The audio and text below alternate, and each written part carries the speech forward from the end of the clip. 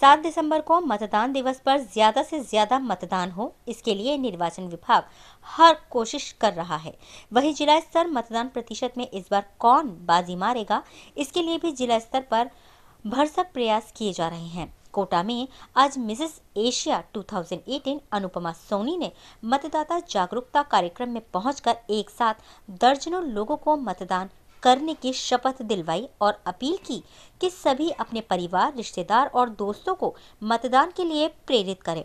Mrs Asia, doctor Anupama Soni Kota की ही बेटी हैं। उन्होंने लोगों से कहा कि जैसे ही उन्होंने मिसेज एशिया बनकर कोटा का नाम रोशन किया है तो कोटा की जनता भी इस बार ज़्यादा से ज़्यादा मतदान करके रिकॉर्ड कायम करे और मतदान प्रतिशत में कोटा का मान बढ़ाए। अनुपमा ने कहा कि हर व्यक्ति का वोट अमूल्य है, इसीलिए सभी चुने और सही को चुने।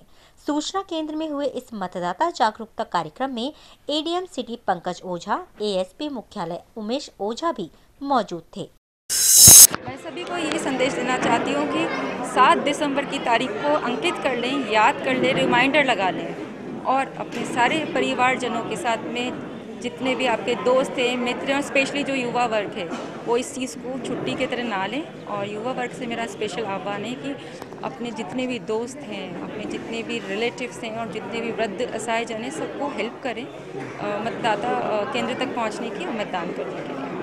यदि आप कोटा के चुनावी हर खबर से रहना चाहते हैं अपडेट तो कोटा खबर डॉट कॉम को सब्सक्राइब करें।